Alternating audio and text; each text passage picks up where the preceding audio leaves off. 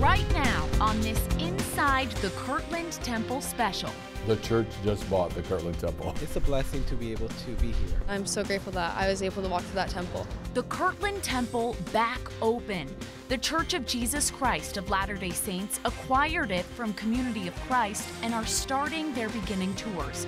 A look inside for the first time under new ownership. Plus, The Savior appeared here, He accepted it, and the temple had a purpose. Joseph Smith saw our Savior, and our Savior did everything for us. a sacred site and rich history. What church members believe happened in Kirtland hundreds of years ago, and what it means for members and non members today. And It's one additional thing to come and visit Kirtland, Ohio.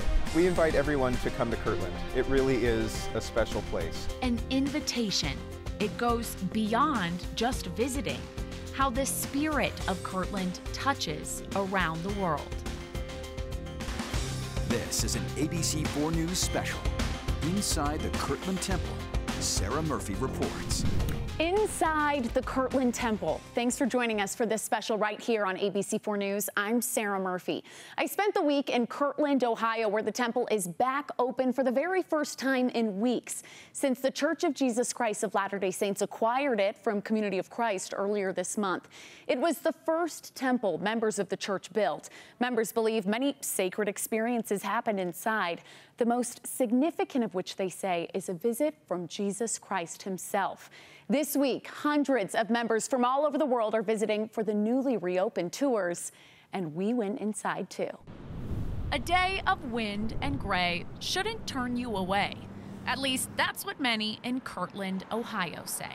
Nearly 30 miles east of Cleveland, you'll drive down a road and find the white church on top of the hill.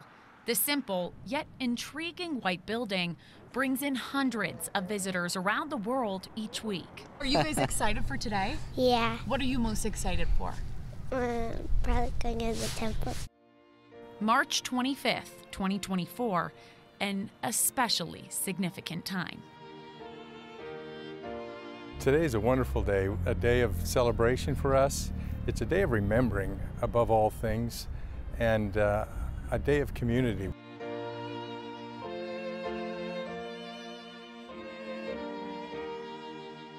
The Kirtland Temple reopened for the first time in over three weeks when the Church of Jesus Christ of Latter day Saints acquired it from Community of Christ.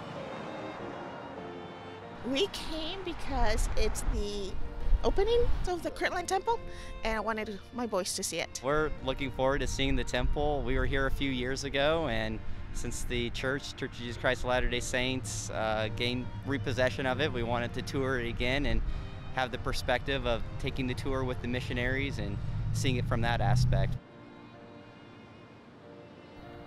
This was the first tour group to enter since the reopening. They have tours of about 25 people scheduled in the temple each hour. Leading those groups are senior missionaries called to serve in historic Kirtland. It was thrilling. It was, it was very sweet and, and very thrilling to be able to have such a privilege. You'd see lumber that has a The site leader over Historic Kirtland, President Scott Barrick, says the moment they learned about the acquisition of the temple, he and his missionaries started preparing. We were in the temple the next day with all of our missionaries and our colleagues from Salt Lake talking about the approach, getting a sample of how they wanted us to be able to do the tour. We don't learn as fast as we used to when we were younger. It takes us a little longer. Uh, our, our minds are still uh, uh, adequate and good, and we, we're, we're honored to be part of it, but it takes a lot of work uh, to uh, go through the materials that have been prepared. It's, it's hard not to get emotional about it because um, these are people we joke, we're all of a certain age. But they recognize miracles have come along the way. The feeling of sharing the experiences of what happened here, they fill your heart and um, uh, kind of amazing and very touching and heartwarming. Those feelings, they explain, come while inside the temple. We weren't allowed to film the tours, but we did get a look inside. The tour takes you up 66 stairs to the third floor, an area with classrooms, many original floorboards from the 1800s, and an original window built by early Latter day Saints. The second and the first floor hold all white chapels. Visitors say the attention to detail stands out. What stood out to me was the craftsmanship. These people were poor, but they put everything they had into that temple. It's like just the little designs and like the handwork that went into it. For some, being in the temple brings back memories of visiting in the past. I remember going up the stairs because those were really steep and I got tired. and I remember the big room and it was like, it looked like a chapel.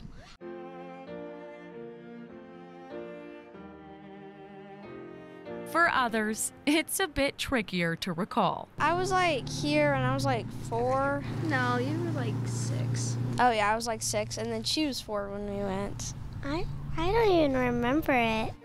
The Santiago family, visiting from Virginia, say their experience is something they'll never forget. My experience has been great, and also being able to bring my family here. It's a blessing to be able to be here. We will continue calling the temple, uh, even though it's a historic uh, monument, or you know, but it's a beautiful, beautiful place to be and to come and visit.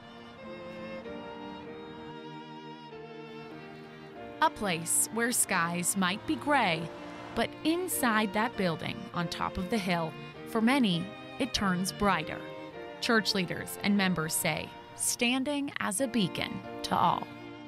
Coming up on Inside the Kirtland Temple. It has been a, a bittersweet experience for us. It's been a sad, sad thing for them to transfer ownership and possession of it. What the change in temple ownership means for both churches and where they go from here and later.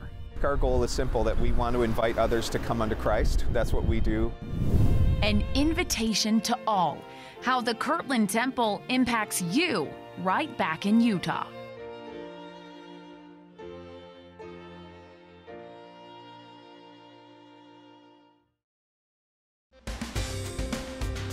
Watching an ABC4 News special, Inside the Kirtland Temple. Before the acquisition, Community of Christ owned the Kirtland Temple for more than 140 years. The impact of the change of ownership, both churches acknowledge. Across the street from the Kirtland Temple is Kirtland Community of Christ. It's distinct from the Church of Jesus Christ of Latter day Saints. Latter day Saints' first modern day prophet was Joseph Smith. His son, Joseph Smith III, was ordained as president of Community of Christ in 1860. While sharing many similar beliefs, a main distinction at the time between the two religions was Community of Christ recognized Joseph Smith's descendants as leaders. Meanwhile, the Latter day Saints looked to its quorum of the 12 apostles. Community of Christ, formerly known as the Reorganized Church of Jesus Christ of Latter day Saints, acquired legal ownership over the Kirtland Temple in 1901. I'm just appreciative that the Community of Christ Church has done such a good job of taking care of it, but um, I mean, it's just it's just open again. It's not that we have it or they have it, but I'm just happy that I can I can come visit it. The Kirtland Temple and Kirtland Community of Christ rest at the top of a hill. Down the road, you'll find historic Kirtland, owned by the Church of Jesus Christ of Latter day Saints. From that standpoint, President Scott Barrick, leader of the historic Kirtland site, says years ago, given their history, there was a time where the relationship between the two churches was complicated. And for many years, there was this antagonistic attitude bef- with the community of Christ and the church. This is decades ago, not not not now, because we've had a wonderful relationship. But in times past, it used to be you stay at the top of the hill, and we'll stay at the bottom of the hill. Over the years, though, their relationship evolved and strengthened to the point where now the change of ownership of the temple brings strong emotions to both. Kirtland Stake President Nathan Johnson says there's some mixed feelings. This is just a, a change in stewardship because our friends from the community of Christ have been making the temple accessible and caring for it so well. And President Barrick agrees. It, it has been a bittersweet experience for us. Um, the bitter has been that we have these wonderful close friends of the community of Christ. And this has been their life and their livelihood. Some of them have sacrificed, some of them are volunteers like we are. And so it, it has been a, a, little bit hard to watch that transition. You know, as we're coming in, uh, looking to see how things will work, they're packing up and moving, moving away. All the stuff that's in the visitor center, they've been carefully taken care of. On the flip side, it's just amazing to be in that space and to be able to tell the stories that of, of what happened there. Now we can tell those stories where they happened. And it's different. It's very different. While declining any on camera interviews, Community of Christ shares their message. They say it's reassuring to know these important places are in the care of people who will love and cherish them with the same devotion we have cared for them over the last century. Elder Kyle S. McKay, General Authority 70, historian, and recorder for the Church of Jesus Christ of Latter day Saints, reminds of the greater purpose of the temple. Remember that this temple is a temple of the Lord, and it doesn't belong to us, it doesn't belong to organizations. It's his house, and so it's a it's a day to remember that. Whether it's the church at the top of the hill or down the road, members say it's greater than them. Still ahead. Certainly, this is one of the most significant places on the earth. There's a lot of things that took place here that are very significant and special living shoulder to shoulder with history, the background of Kirtland, what happened there, and what it means for you. Plus, I would tell them that that everything is in good care, and um, and that it's going to be here. The church has pledged to run this as a historic site. Words of reassurance. What comes next for the Kirtland Temple?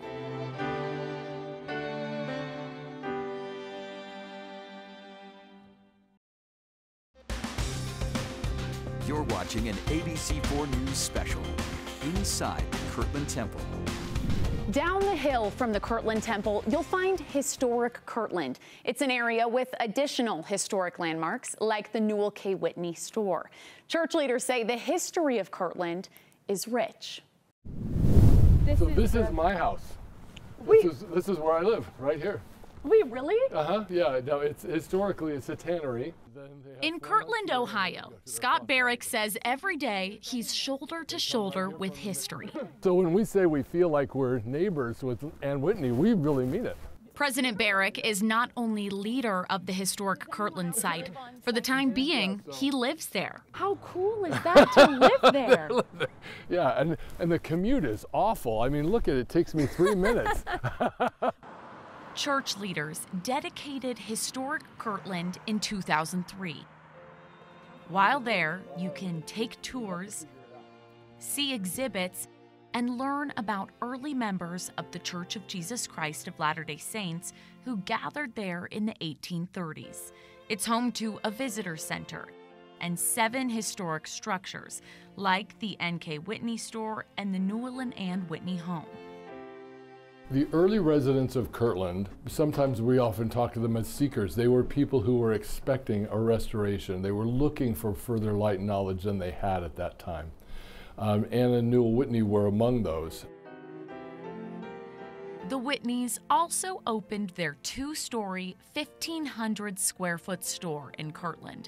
They say the store had a relatively large inventory at the time and served as a storehouse for provisioning the poor. Latter day Saints believe the second floor was home to many sacred experiences. When you come here, what you have a sense of is how real it is. It's not just a footnote in the Doctrine and Covenants when it says a general conference of the church convened in Kirtland, Ohio. We're standing in the parlor of the Newel K. Whitney store where that conference took place. This is the locale for the General Conference. When you're in the School of the Prophets, and we have the testimony of Joseph Smith saying to the brethren assembled, You have seen the Father and the Son and know that they exist. It's different. Those feelings and testimonies, members say, extend from the second floor of the Newel K. Whitney store to inside the Kirtland Temple as well.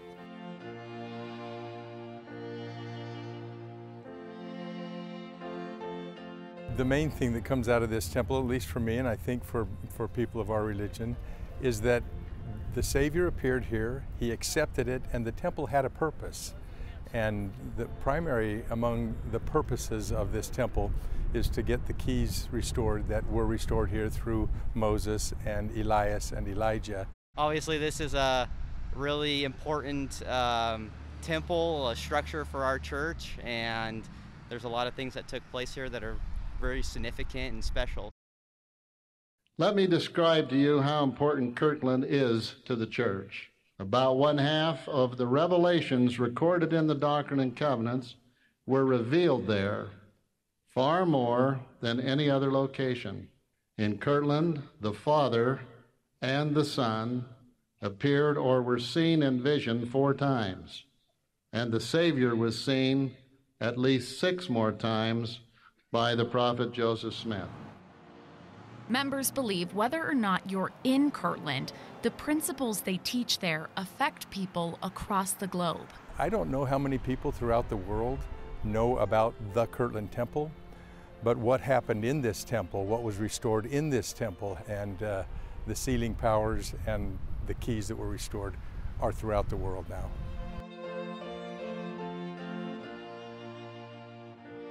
It's something President Barrick remembers. The oldest uh, lumber on the whole site is in that house. Walking along the roads of historic Kirtland. Coming up on Inside the Kirtland Temple. It's an unbelievable answer to many, many prayers. The spirit that you feel in there, well, for me anyway, it's amazing. The Spirit of Kirtland. What is it? And why church leaders say it impacts you all the way in Utah.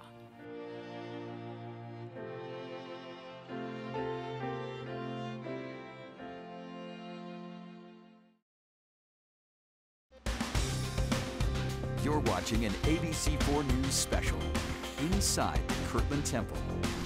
Church leaders acknowledge not everyone will get the opportunity to go to Kirtland and inside the temple. But they say anyone, anywhere, can experience the spirit of Kirtland. Going through the Kirtland Temple, it made me realize that the saints sacrificed a lot to worship their Savior. There's a lot of things that took place here that are very significant and special. Yeah, it's very special. I mean, for me, I just wanted to feel the, the spirit. A sacred place, they say, with a special spirit.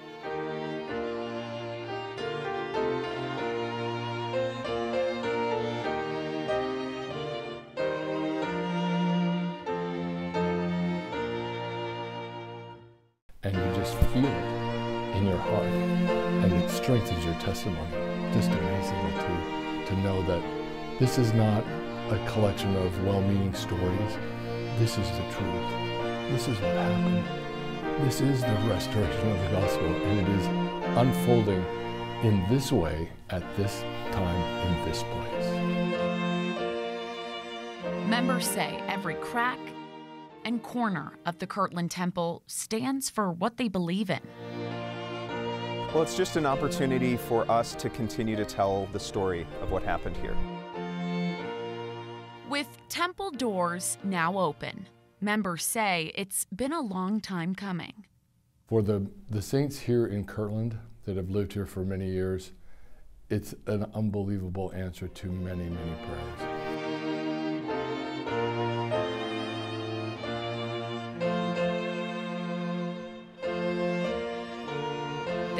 To all an invitation. I'd also invite them to come.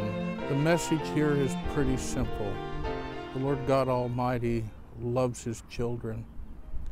And he has manifested himself here in Ohio several times, and especially in the Kirtland Temple. We invite everyone to come to Kirtland. It really is a special place. Even for those in this area, Kirtland is, is somewhat unique in, in the faith community that's here of multiple denominations. And we just want everyone to experience the feelings and the spirit that accompany this sacred ground.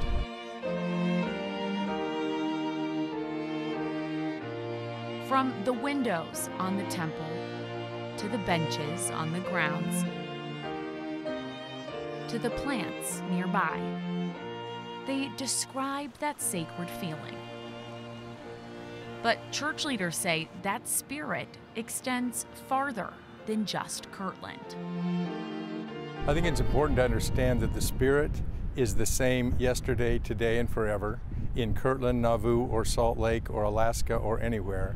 And the spirit is the same, no matter where, no matter what. They say the temple, standing for over 100 years, meant to stand over 100 years more. With respect to the temple, we will continue to offer it as a historic site. It will not be transformed into an operating temple. It will continue to be available to the public at large and to, to members of our faith and any faith. And the future of the temple in Kirtland, Ohio. We're continuing to learn more. Uh, we will have a lot of opportunities for the church historians to have really complete access to understand and know about this building, what it, what it needs, the care that it's been given. So from, from that standpoint, it's going to be here. It will serve, I think, primarily, I, I hope, primarily as a reminder. We have places like this, memorials, historic sites, to connect us to the past, but above all, to remind us of Jesus Christ. And that's the only one that we're under covenant to remember always.